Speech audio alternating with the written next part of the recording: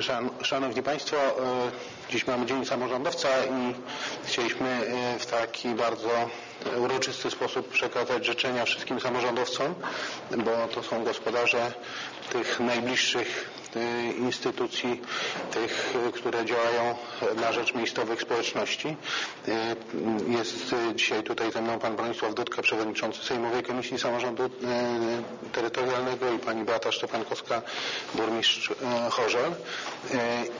Chcę podkreślić, że reforma samorządowa sprawiła, że bardzo wielu ludzi zaangażowało się w sprawy swoich miejscowości, w te lokalne inicjatywy, które sprawiają, że możemy żyć lepiej, że możemy żyć ciekawiej, że możemy rozwijać potencjał i możliwości wielu utalentowanych ludzi.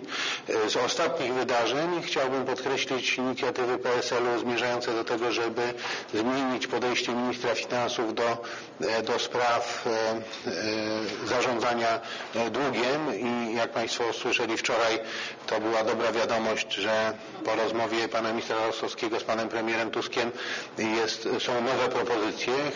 Chcielibyśmy też się z tymi ustaleniami zapoznać, bo bardzo ważne jest tutaj zwrócenie uwagi, że ta dyskusja była na razie samorządowcami z tych dużych aglomeracji. Ważne jest, żeby rozwiązania były zrównoważone i żeby nie było bez bezzasadnego dokręcania śruby dla gmin, dla samorządów, które w tej chwili realizują duże, wielkie projekty, realizują także projekty z wykorzystaniem środków europejskich. Samorząd funkcjonuje zupełnie inaczej jak budżet, gdzie w budżecie te procesy zaciągania długu są dużo bardziej zróżnicowane, zdywersyfikowane i w każdym roku można mówić o pewnym poziomie zadłużenia, kosztów obsługi i tak. W samorządzie czasami jest tak, że są lata, kiedy jest nadwyżka i kiedy się nie zaciąga kredytu, a jest moment, kiedy realizując dużą inwestycję zaciąga się kredyt i przekracza się te wskaźniki znacznie w porównaniu do tego, co może być uzasadnione w przypadku budżetu krajowego, więc na pewno nie można stosować takiej jednostkowej maszyny do ucinania możliwości finansowych samorządu. Można zastosować pewnego rodzaju agregaty, wskaźniki obejmujące samorządy jako całość, ale bardzo ważne jest, żeby w tych rozwiązaniach wykorzystać także możliwości partnerstwa publiczno-prywatnego, żeby samorządy miały możliwość finansowania ważnych projektów, które dotyczą warunków naszego życia, warunków naszego zamieszkania, bez takich sztywnych i często przesadnych restrykcji. Chcę też podkreślić bardzo duże znaczenie i zaangażowanie samorządów, jeżeli chodzi o działalność związaną z oświatą. Tutaj często są dramatyczne wybory, bo przesunięcie odpowiedzialności za zarządzanie oświatą na poziom samorządu sprawiło, że władze państwowe umyły ręce od bolesnych często decyzji związanych ze zmianą struktury szkół i teraz to ta odpowiedzialność spada na samorządowców. Tu bardzo ważne jest, żeby podejmować te decyzje w sposób rozsądny, roztropny, wspólnie z mieszkańcami, tak aby zapewnić dobrą edukację dla młodzieży na tym poziomie podstawowym i biorąc pod uwagę całość tych spraw, chcę tu ze strony PSL-u w bardzo jednoznaczny sposób i pogratulować, podziękować i życzyć samorządowcom wielu sukcesów i mniej takiego, więcej, więcej życzliwości ze strony ministra finansów i mniej różnego rodzaju restrykcji, które ograniczałyby możliwości działania samorządu ponieważ jest debata o gazie łupkowym, ja będę musiał na, na wrócić teraz na podsumowanie tej debaty. Jeżeli chodzi o pytania, to chcę tylko dopowiedzieć, ewentualnie możemy potem po, po konferencji do tego wrócić, ale chcę podkreślić, że materiały źródłowe, między innymi raport oksfordzki, o który tam niektórzy z Państwa pytali, zawiesimy na stronach internetowych Ministerstwa Gospodarki z tą prośbą, że jest to dokument do użytku niekomercyjnego, więc proszę przestrzegać tutaj tych zasad, że nie może być ten dokument używany w celach komercyjnych. Natomiast bardzo ważne jest, żeby możliwie szeroko o tym gazie łupkowym poinformować, bo jest to wielka szansa dla naszej energetyki, dla jeszcze bardziej mocnej pozycji Polski w zakresie bezpieczeństwa energetycznego. Także bardzo proszę pana posła Przewodniczącego o przejęcie przewodnictwa tak się składa, że dokładnie w tej chwili kończy się ta debata, bo się przesunęła tutaj o kilkadziesiąt minut. E, Dziękuję bardzo premierowi. E, Szanowni Państwo, Polskę mamy dzisiaj samorządową. System samorządowy w Polsce jest najlepiej rozwinięty w kraju.